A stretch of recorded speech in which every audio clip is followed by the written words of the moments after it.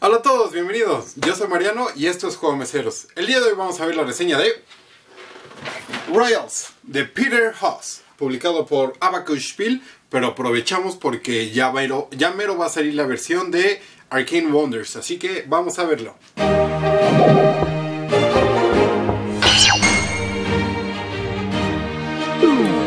Bueno, pues este juego es de control de territorios y mayorías. Básicamente lo que haces en tu turno es tomar una carta de unas que están abiertas en el estilo Ticket to Ride o tomar unas que están cerradas, estilo Ticket to Ride, y luego cambiarlas para influir en distintos lugares del mapa. Se supone que somos partidos políticos de, de, pues de o ideologías de, de Europa y básicamente vamos llegando a los distintos nobles. Ganas puntos por conquistar nobles, por conquistar eh, terrenos, por conquistar todos los nobles de, todo, de toda la monarquía y por, ¿qué más? Por tener la mayor cantidad de influencia en un país. Eso es todo lo que haces, ¿no? Este juego es este, lo vimos el año pasado. Nosotros tenemos la versión de Abacus Spiel, pero eh, Tom Basel de, Dice Tower, uno de los podcasts más famosos de, juegos de mesa, eh, pues se, asoció ahí con Arcane Wonders y los va a sacar en el Dice Tower Essentials, que es una línea eh, auspiciada o, mm, pues sí, como en, sociedad con Arcane Wonders y pues por eso tiene, va a tener muchísimo, muchísimo revuelo este juego. Eh, a mi parecer es un juego muy bueno, es sencillo, es yo creo que en el nivel de Ticket to Ride, pero en una vena completamente distinta. Esto de, tener que o, poder ganar puntos de victoria de tantas maneras, ¿no? Eh, puedes eh, ir de a poquito para ir ganando eh, los, nobles primero, o puedes irte guardando para conquistar algún noble que, tenga más influencia en la corte, o ir influenciando todos los nobles para ganar un montón de puntos. Creo que esa variabilidad y, y esa cantidad de opciones no son demasiadas, son bastante limitadas. Eh, son muy buenas para un público de pues que esté iniciando y por eso es que este juego está en nuestra colección. Es un juego sencillo, eh, un peso mediano, sencillo, de, ligero a mediano, pero en control de territorios, ¿no? Eh, las mecánicas son muy sencillas, eh, los componentes están bien, son cubos. Esos cubos es todo lo que está en la influencia y este es el tablero, ¿no? El tablero pues está bien, todos los nobles son iguales.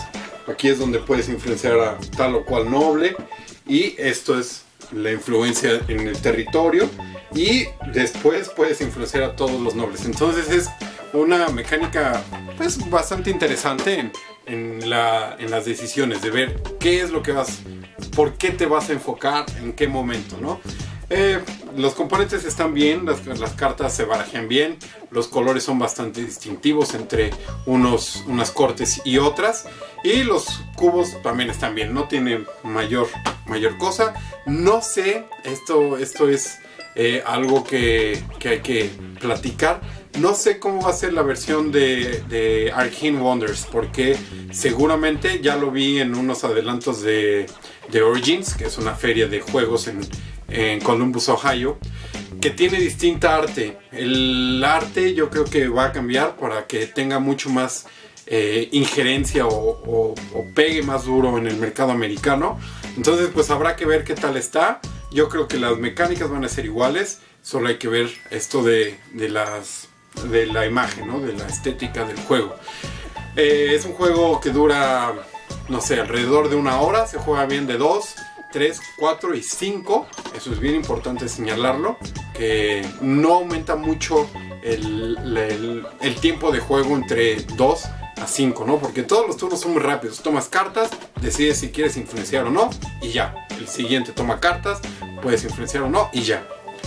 Hay una mecánica que me gusta mucho, como que va avanzando el juego y, y va cambiando la estrategia. Al principio es muy fácil poner, es, poner este, influencia en todos los nobles y en varias partes del mapa. Y luego hay unas cartas que son de intriga. Estas cartas de intriga sirven para mover la influencia que estuviera puesta con anterioridad. tú te colocas en, esa, en, esa, en ese lugar donde tú quieras poner la intriga, ¿no? Entonces van relegando las influencias anteriores y por eso es que el, el juego como que todo tiene distintos ritmos. Al principio es muy fácil poner los, las influencias porque no hay nadie y después se vuelve así de un, juego de tómala, te quito, me pongo yo, quiero ver, quiero conquistar este territorio, pero me hace falta alguna influencia por ahí y te voy a quitar. Y eh, depende mucho de la suerte que te salgan, que te salgan las cartas, pero eso se mitiga un poco con las tres cartas abiertas que tú decides de cuál tomar. Y además puedes cambiar tres cartas por eh, un comodín, o sea, cualquier tipo de carta, cualquier, cualquiera tres cartas. Eh, los puedes cambiar por un comodín. Entonces por ahí se mitiga la suerte.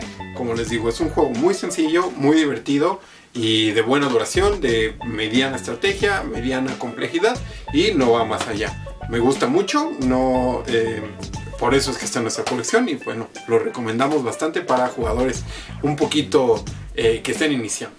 Pues bueno, eso fue todo, espero que les haya gustado, recuerden darnos me gusta, suscribirse al canal, darnos, seguirnos en las redes sociales y siempre recuerden que en Juega Meseros llevamos los mejores juegos hasta su mesa. Adiós.